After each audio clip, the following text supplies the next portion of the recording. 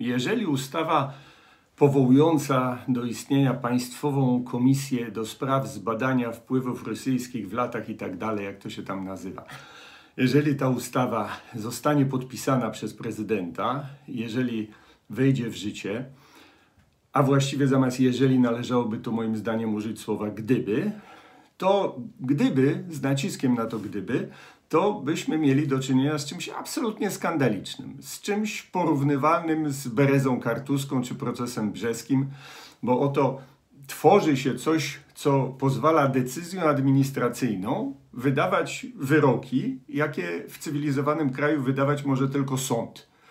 I to sąd opierający się na konkretnych przepisach prawa, znajdujący się pod jakąś kontrolą.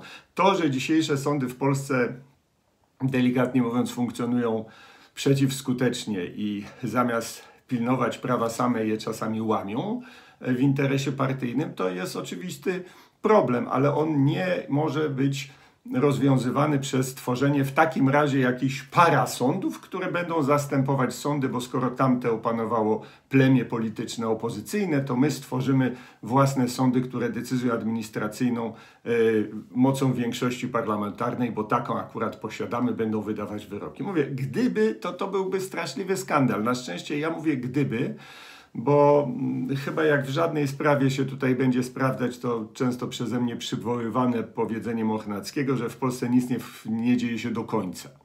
Zresztą można być spokojnym, bo przecież taka komisja już istniała. Analogiczna komisja, która miała uprawnienia do wydawania decyzji nie wprawdzie dotyczących osób, ale dotyczących spraw majątkowych, decyzji, jakie prawo zastrzega wyłącznie dla sądów w procedurze cywilnej, istniała, mówię o komisji reprywatyzacyjnej. Skończyła się z merytorycznego punktu widzenia kompletną klapą, bo wszystkie decyzje, które podjęła, nawet te w najoczywistszy sposób słuszne, zgodne z oczekiwaniami społeczeństwa i zdrowym rozsądkiem i prawem, zostały unieważnione, ponieważ zgodnie z konstytucją komisja takich decyzji wydawać nie może, bo nie jest sądem, tylko komisją polityczną.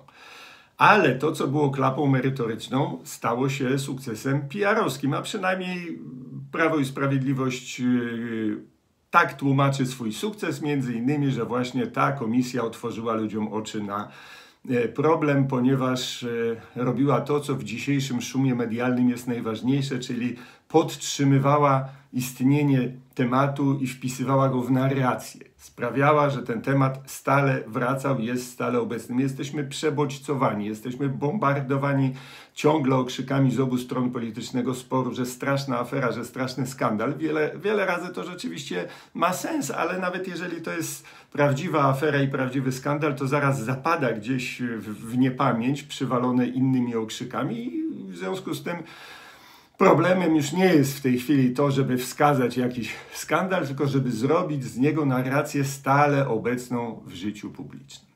I tu mamy do czynienia z wojną o narrację, dlatego pozwalam sobie to yy, nazywać yy, komisją do spraw gadania i wpisywać w swoje dosadne, bo taki mam zwyczaj powiedzonko, że w ogóle cała polska przy, tele, polityka przypomina tak zwany seks telefon, to znaczy Chodzi tylko o to, żeby się rajcować gadaniem i gadać, i gadać, i gadać, i tym gadaniem rajcować. I wiadomo, że z tego nic nie wyniknie w sensie konkretnym.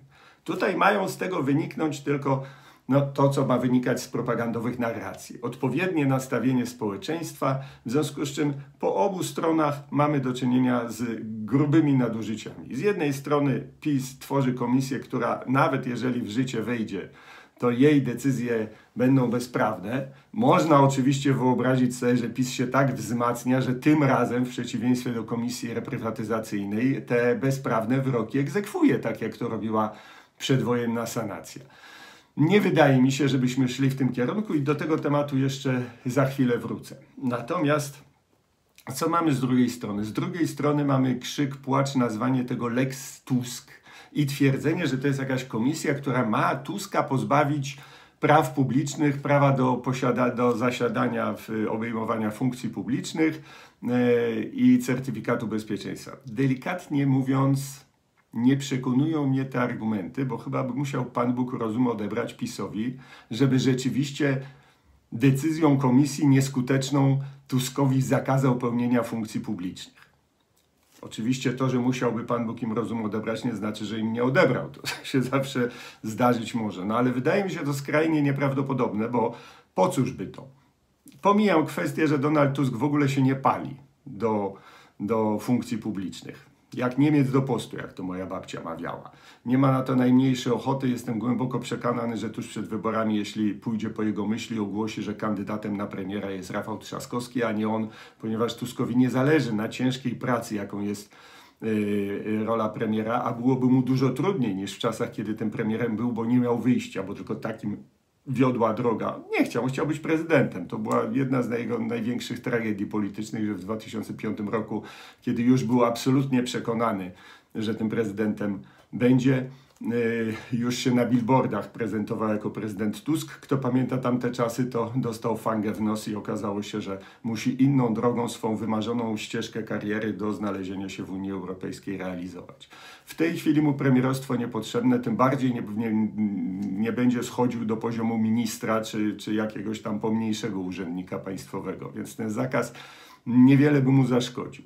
Po drugie, zrobiłby z niego męczennika. Przecież cały dyskurs opozycyjnych mediów to jest nieustające promowanie, szukanie, robienie z banana struganie męczenników, prawda? Taki typu, typu, typu, że kogoś tam za ręce nogi wynieśli, albo pani powiedziała, usłyszała siadaj Coulson, a bo słyszała inne słowo, bo głodnemu widocznie chleb na myśli i myślała, że to o niej policjant powiedział, albo, albo no, co nieustannie, prawda? Z Tuska by zrobiono w ten sposób męczennika, to jest tani chwyt, ale on w Polsce zawsze działa. To jest coś jak scena z 9,90 na końcu. Prawda? Wszyscy wiedzą, że to jest to samo co 10, ale wszyscy wiedzą, że to męczeństwo jest byle jakie, ale my mamy słabość do nieudaczników, do, do rozmaitych ofiar losów, w przeciwieństwie do takich Amerykanów, których loser jest osobą pogardzaną, to w Polsce każdy, kto spadnie ze stołka, czy z konia, czy w jakiś sposób, aż zwłaszcza może sobie powiedzieć, że ktoś mu jakiś spisek go prześladuje, to od razu to budzi sympatię. Więc po co budzić sympatię do Tuska? Chyba nie o to by chodziło mm, Prawu i Sprawiedliwości.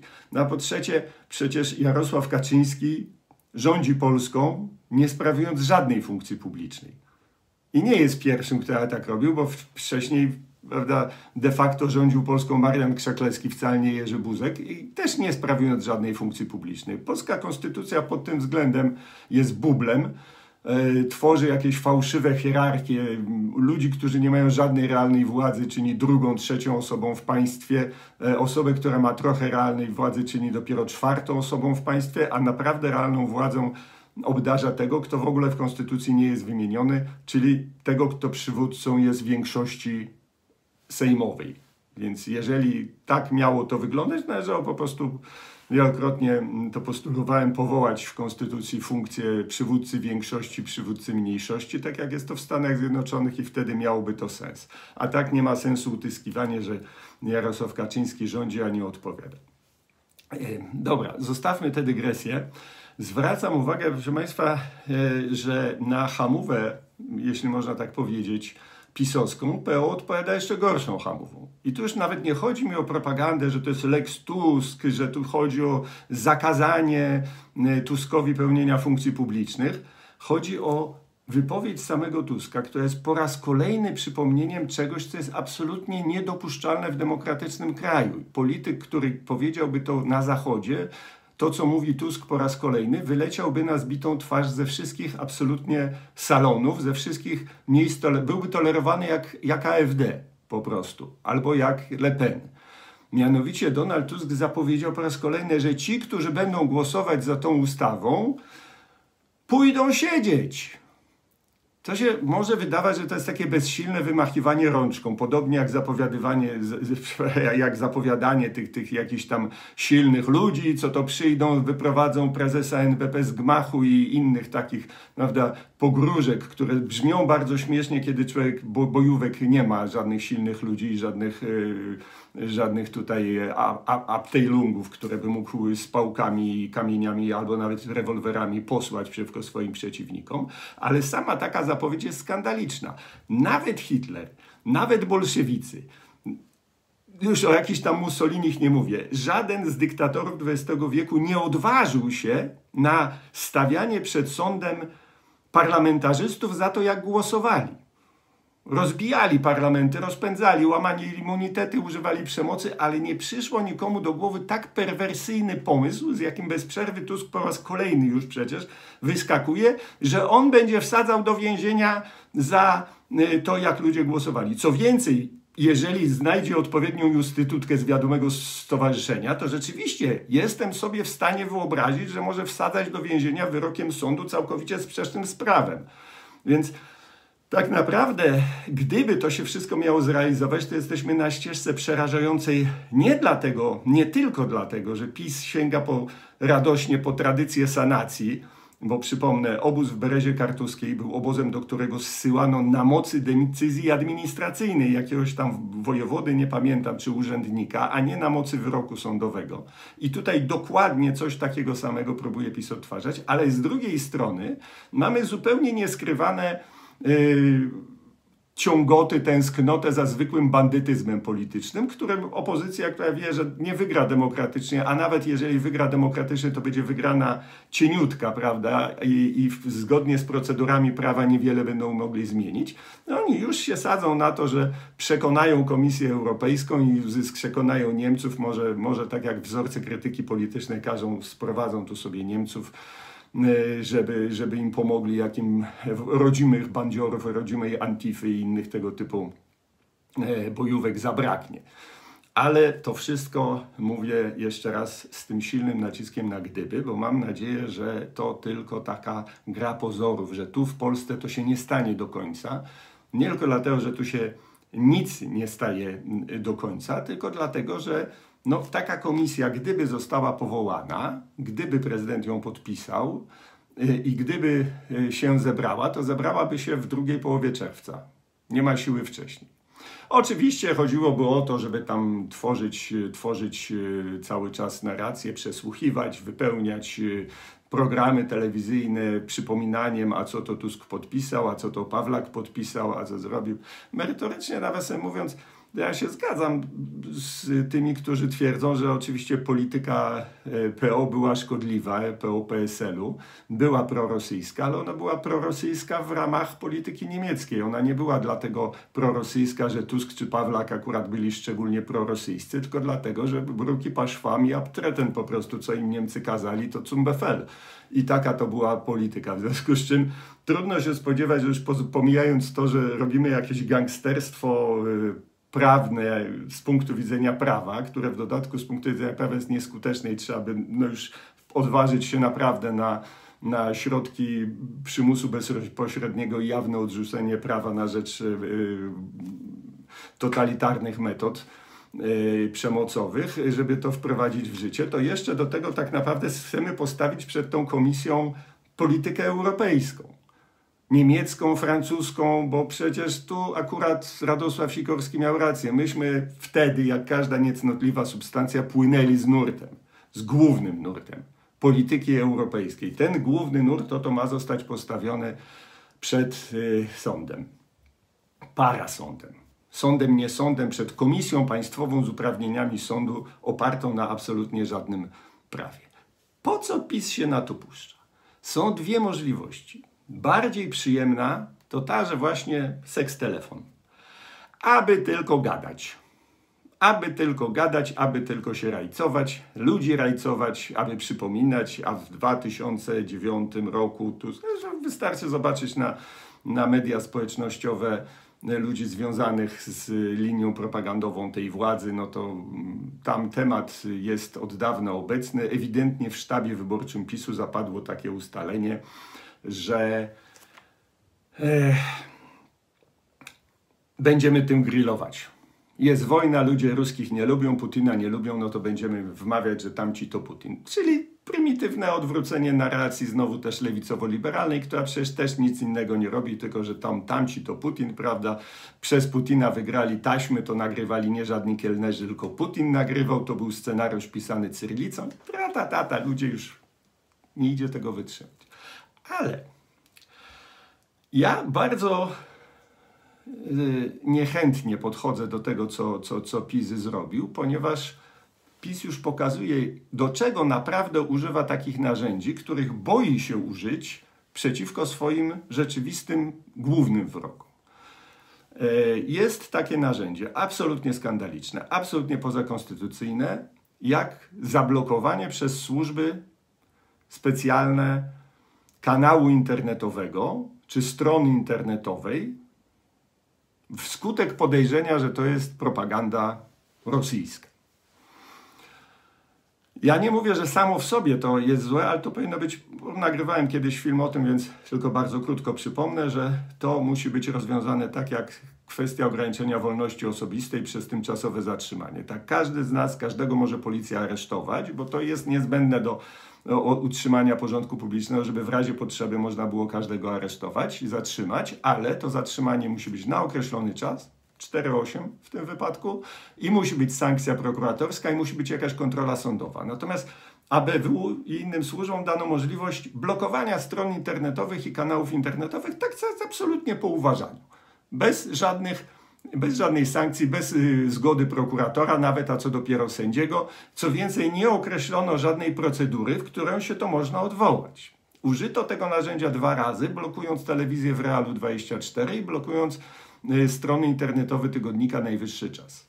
Zwróćcie Państwo uwagę, w obu wypadkach nie użyto tego przeciwko, umownie mówiąc, lewicowo-liberalnemu obozowi, nie przeciwko antypisowi y, Agory, TVN-u. Tutaj, tutaj się PiS boi. Tu się po prostu boi. Próbował tam tylko nieśmiało opodatkować TVN i inne stacje telewizyjne, jak na niego pani Żorżeta tupnęła się, PiS schował natychmiast z tymi pomysłami. Natomiast długie łapy ma do tych okolic, nazwijmy to konfederackich. Michał Rola wygrał ostatnio w sądzie. Z, tę decyzję uznano za bezprawną. Czy po siedmiu miesiącach, czy po ileś, medium zniszczone, pieniędzy nie możesz zarabiać, nie masz kontaktu z. I ponieważ w tym pomyśle na komisję jest artykuł czwarty, który powiada, właściwie niby komisja ma badać działalność osób publicznych i urzędów i tak dalej, ale właściwie może powołać może się przed siebie wezwać i, i, i może każdego sobie przesłuchać i przeczołgać i, i wlepić mu jakieś kary, choćby symboliczne, no bo dla mnie na przykład kara zajmowania stanowisk publicznych jest ale, ale dla kogoś, kto ma ambicje i próbowałby zająć, może być niesymboliczną. Może w każdym razie zwrócić się tak naprawdę przeciwko każdemu, bo tam jest to napisane jakoś w tej chwili dosłownie Państwu nie zacytuję, można sprawdzić, że e, osoby, których działalność wpływały między innymi na opinię publiczną, prawda, i jeżeli komisja uzna, że promowały narrację prorosyjską. Y, z tego, z jaką łatwością obóz władzy sypie wokół, y, wobec różnych ludzi oskarżeniami o, o bycie, bycie ruską onucą, jak to w propagandzie swojej nazywa, no wiemy, że jest bardzo skłonny do rozciągliwego traktowania tych. I na przykład pan minister Jabłoński, który już, już, już wystarczająco podpadł mi tymi, tymi głupstwami o polityce transakcyjnej, y, wdzięczności, a nie zamiast polityki transakcyjnej, też y, regularnie ściera się na przykład z redaktorem Warzechą, moim redakcyjnym kolegą na, na mediach społecznościowych, e, oskarżając go o prorosyjskość, ale w jaki sposób? No taki, że na przykład Warzecha pisze, że być może ta wojna się skończy tak, że, że Rosja pozostanie na tych terenach, które zajmuje. Ja się akurat z Warzechą nie zgadzam w, zupełnie w większości spraw dotyczących wojny, ale to jest niewykluczony scenariusz, że mocarstwa zachodnie zgodzą się, żeby, żeby została Ługańsk, Donieck i Krym w rękach rosyjskich i taki będzie, e, takie będzie ustępstwo wobec Rosji, czy raczej wobec Chin, które się tu stręczą na, na y, pośrednika i, i. I taka będzie cena pokoju. Tak jak ceną pokoju bywała kiedyś Polska, prawda, w różnych czasach. Tak, to, to jest realny scenariusz. W tej chwili e, Francja z Niemcami to aż nóżkami przebierają, żeby Chińczycy tutaj weszli za właśnie z takim zaproponowanym dealem, rozjemstwem swoim, e, rozejm, ja, ja, jako, jako ci mediatorzy. E, Amerykanie się na to nie zgadzają, bo Amerykanie są na razie zdeterminowani i daj Boże, że będą dalej zdeterminowani, żeby Ukraina odzyskała wszystko i dopiero wtedy mówić o pokoju. Ale są wybory w Ameryce.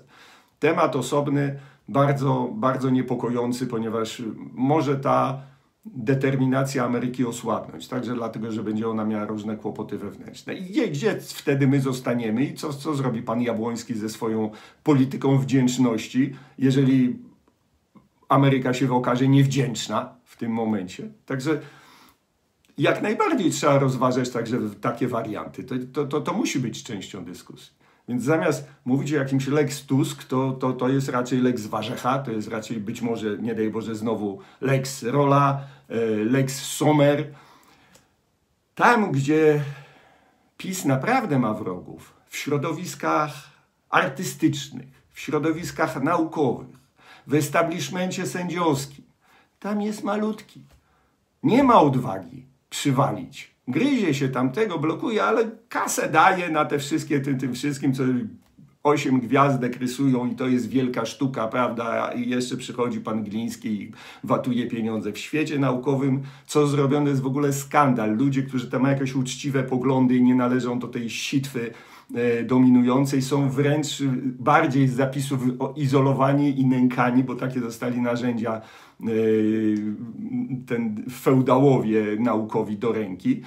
E, a w mediach no, zwracam uwagę, zresztą jeszcze raz powtórzę, co już raz mówiłem, to jest logiczne. Dla PiSu, co tam pisze Gazeta Wyborcza, jest, mówią w tvn czy co to KFM, to jest rybka. Bo to, co i to obchodzi. To jest skierowane do antypisu, do elektoratu, do bańki, która i tak PiSu nienawidzi, w związku z czym nic PiS z tego nie, nic PiS na tym nie traci, nie zyskuje. O, ale my tutaj tacy, prawda, e, co, co się nie, nie, nie potrafimy opowiedzieć, e, czy my jesteśmy za jedynie słuszną partią, czy jedynie e, przyznajemy jej częściowo rację. A na wojnie się nie zakłada klubów dyskusyjnych, jak pouczał jeden z prominentnych działaczy PiSu, chyba to już Państwu cyndowałem to my tutaj możemy sprawić, że jakiś paru gości zamiast zacisnąć zęby i stwierdzić trudno, PiS jedynym obrońcą naszej, naszej e, suwerenności, PiS jedynym obrońcą naszej e, e, jedynym, jedynym stawiającym się Unii Europejskiej, to my możemy tych ludzi przekonać, a może nie na PiS zagłosujcie, a może na Mencena, a może na jeszcze kogoś innego.